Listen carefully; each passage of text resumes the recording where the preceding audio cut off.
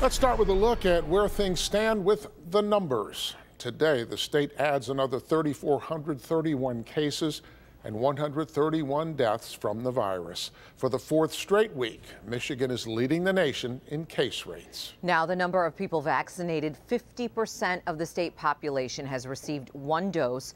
38% is fully vaccinated. This week, Governor Whitmer announced the state's reopening plans would be tied to vaccination rates. The first reopening tier starts when 55% of the population has received at least one dose.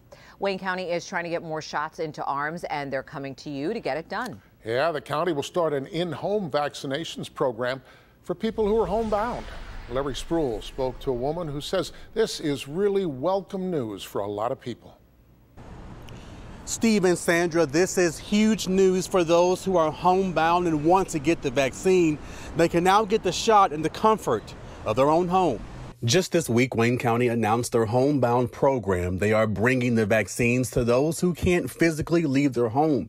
It's all a part of Wayne County's ongoing efforts to increase vaccine access to residents who may want the vaccination but can't make it to one of the health department's COVID vaccine clinics. I was so happy to hear the news. Great news that Marla Ruhana, a homebound vaccine advocate, had to share. I immediately shared those resources not only with the homebound, but those of them that are older adults. Ruhana says this is the hope that many homebound patients have been waiting to hear. It might be the first time, Larry, since the pandemic began that these adult children will be reunited with their parents. It's just been very disheartening for them feeling helpless.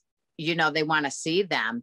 And some of the homebound may be facing end of life issues. And so it could be the last time these adult children or friends of these folks get a chance to see them. There's a lot of people, you know, in the city of Detroit that that don't have transportation and our, our poorest populations that really do need someone. Maybe they don't have any support system. A support system, Ruhana says she will continue to be for those who need it. So this is just such great news and just makes me want to continue advocating for all of those who cannot advocate for themselves.